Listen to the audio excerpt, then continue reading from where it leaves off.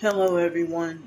It's now 8:11 p.m. Still on um, Tuesday, October 3rd, 2023. so, excuse me. so, hold up. I think I got it. Damn, was flying that or something. Hold up, y'all. so, my throat is a little bit, you know, irritated right now. So, I'm letting y'all know that um I did not foresee this coming. I did not. Cuz I was hoping that something could be worked out today. So,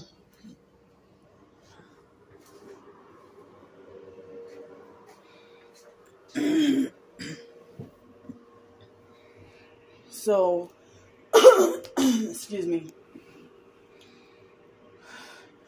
I had a lot going on today too and everywhere i went they gang stalked me even worse even heavier.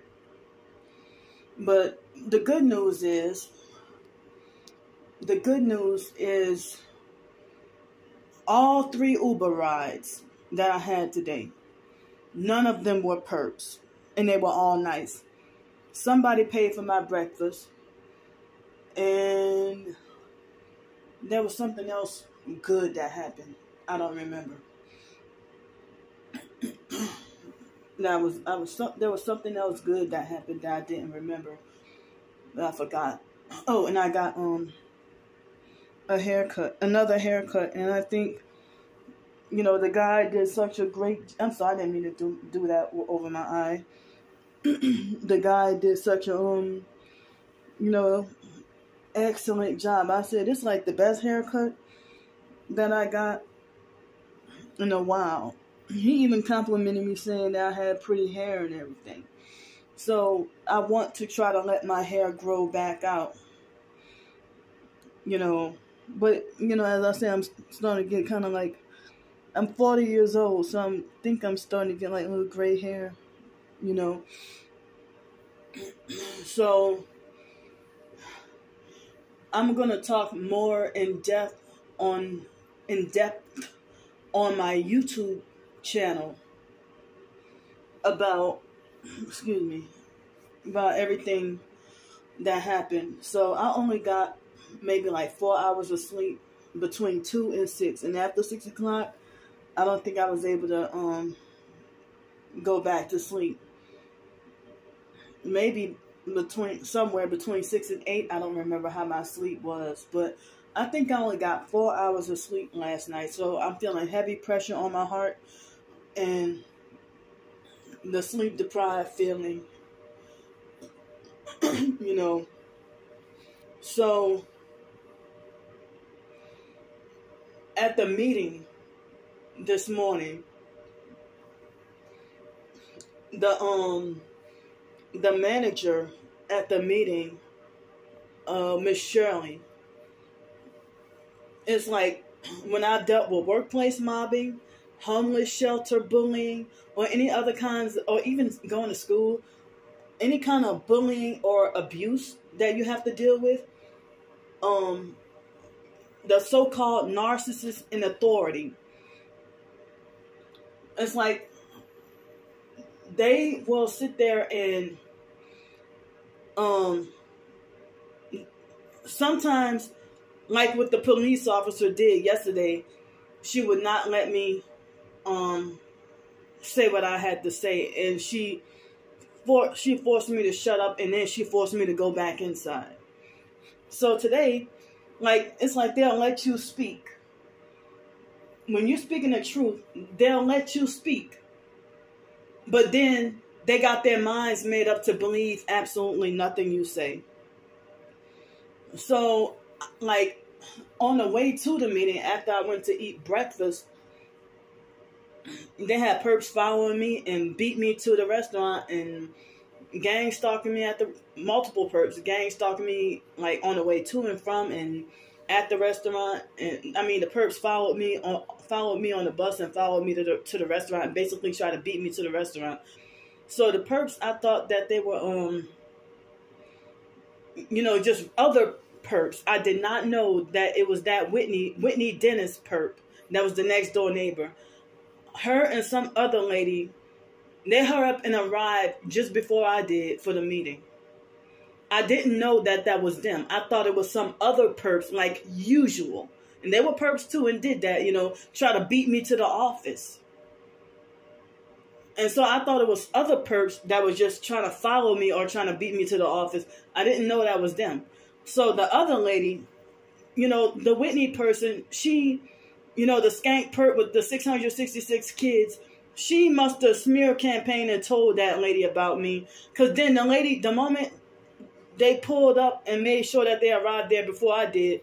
And then a lady started bullying, harassing. The other lady got out the car and started bullying her, the SUV, started bullying, harassing, and threatening me. So, you know, at the office, the the manager, Miss um Shirley, she was the one doing all the talking and playing all the psychological games you know, intentionally and willfully throwing up satanic hand signs. When we first got into the meeting, I mean, they forced me to get rid of my cell phone. They forced both of us to um put our cell phones at the front. But after they forced us to put our cell phone, I mean, up at the front desk, they recorded the meeting, and I'm like, this don't make no doggone sense. So everybody had on masks except me and Mr. Singh, and Miss Shirley was was doing the most of the talking, but her and Mr. Singh they were playing all kinds of psychological games, and basically, you know, that Whitney person was trying to pretend to be a vic- pretend to be a victim and pretend that lied and said that I was the one bullying and harassing everybody in the neighborhood. So Miss Shirley was throwing up satanic hand signs and throw, I mean, playing all kinds of psychological games. And when we first got up in there, one of the first things the Whitney person, one of the first things she said is, "She called me a gang stalker." So then they sat there and narcissistically demanded an answer for what is a gang stalker.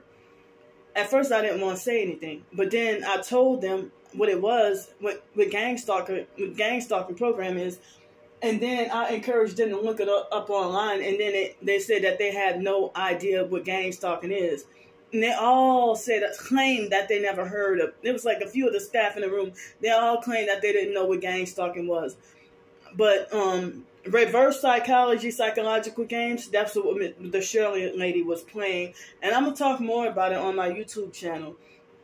So I got all my stuff. Um, and then even when I went, I mean, I had basically had to throw throw away all my belongings, and I had to get another backpack, and like the stuff in the bag was too heavy, so now I'm kind of carrying two bags.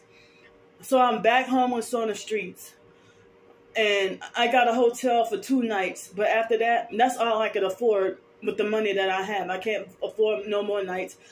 I got rid of the storage unit. All me trying to better myself and try to get housing. All this happened all at the last minute or within a couple of days, and I was unprepared. You know, I'm I mean, I was supposed to be at that place right now with the rent paid. No rent paid. I had to turn in all the keys, get off the get the um electricity bill turned off, cancel the I mean the internet service.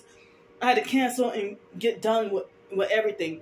So basically, they said I wasn't evicted, but they basically um pretty much um heavily convinced me that basically that I should move, and then they had their mind made up to believe that the Whitney perp was the victim, and I was the um, you know, the a bad neighbor. They tried to narcissistically lecture me about being a bad neighbor and lecture me about how to be a good neighbor. And I mean, and so after, I mean, I got thirty more seconds to talk.